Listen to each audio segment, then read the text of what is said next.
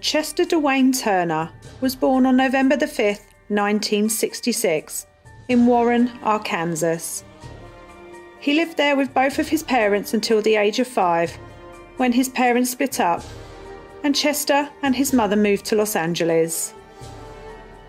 He went to school locally, but was never really an avid academic, and left high school before ever receiving a diploma. He bounced from job to job then ended up working in one of the local well known pizza establishments, where he was a cook and a server. His mother left LA to move to Utah, but Turner stayed behind. He was now homeless and found himself moving around different homeless shelters along the way. He got into trouble with the police on several occasions. These crimes were for petty theft and robbery, but never held a custodial sentence. Between the years of 1995 and 2002, Turner served a few short custodial sentences for crimes which included an attack on a police officer when he approached Turner with suspicion of another offence. This man was a violent person. But what was to come next would shock Los Angeles and make this man the worst serial killer in Los Angeles history. In March 2002, police were approached by a woman who reported a serious crime that happened between 6th and 7th Street on Los Angeles Road. She had been sexually assaulted by a male and kept against her will for approximately two hours. She was petrified, and before the attacker left, he threatened that he would find and kill her if she told the police about the attack. Luckily, this woman found the courage to tell someone and was able to give an accurate description of the male.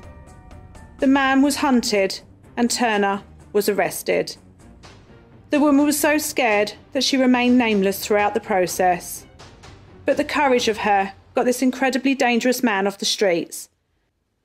But what was to come next was totally unexpected. Turner was sentenced to eight years in a federal prison for this assault. It was now protocol to take DNA from any convicted person.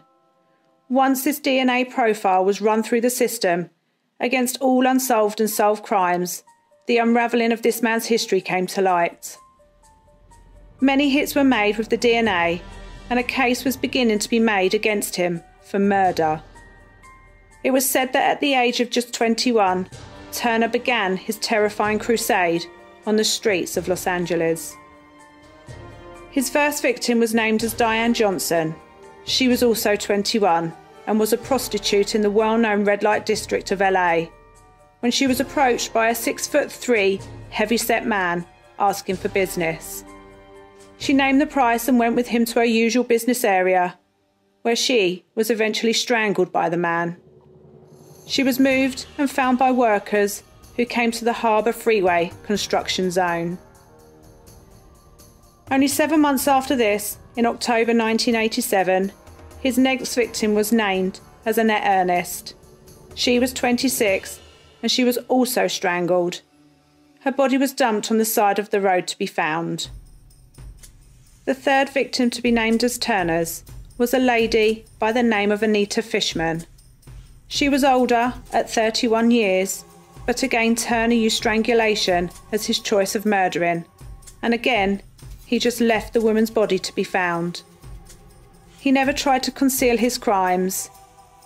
She was found in the alley just off the Figueroa Street in January 1989, over a year after the last victim had been found. Victim number four was Regina Washington, and in September 1989, she was found in exactly the same place as Anita, and she had also been strangled. But differently and more shockingly, she was pregnant at the time. The victims just kept on coming. The DNA hit many different cases, all unsolved until now. Victim number five was named as Andrea Triplett. She was aged 29 and also found strangled and in the same area as two previous victims in Figueroa Street, this time in a building and not a garage. This murder was in April 1993, four years after his last named victim. Then, Desarae Jones, aged 29, was named. She was found strangled at home in her own garden. Natalie Price, aged 31, was found in February 95. And then the last unsolved case was Mildred Beasley. She was the eldest of all the victims and was a mother to a teenage boy. She was strangled and left by Freeway 110. This was in November 1996. All these murders that had now been solved were of women who were either known prostitutes or they were heavily involved in drug use. Turner's unique MO was to choose these women according to his preferences and then strangle them. Most of these women were indecently assaulted, and this was the undoing of Turner. His DNA was linked to all of these unsolved crimes due to that fact, and this would not have happened if he wasn't convicted on the assault charge. He started his murder spree at the young age of 21. The murders had been assigned to a serial killer that the press and police had dubbed the Southside Strangler. A trial was set for these murders for 2002, while he was already in prison for his previous crime.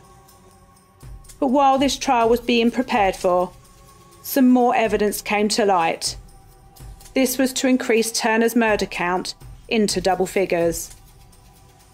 A CCTV videotape had been found which showed the murder of a young 24 year old Paula Vance. It showed and identified Turner strangling her. And another victim named Brenda Bryce, aged 39, was added to his list. She was found strangled in an outside toilet in Little Tokyo. A witness had come forward in the Vance case, and the CCTV footage was more than enough to secure the conviction, and Turner was sentenced to the death penalty. After his not guilty plea, and would be transferred from his current prison to the well known San Quentin State Prison, where he would wait for his execution date.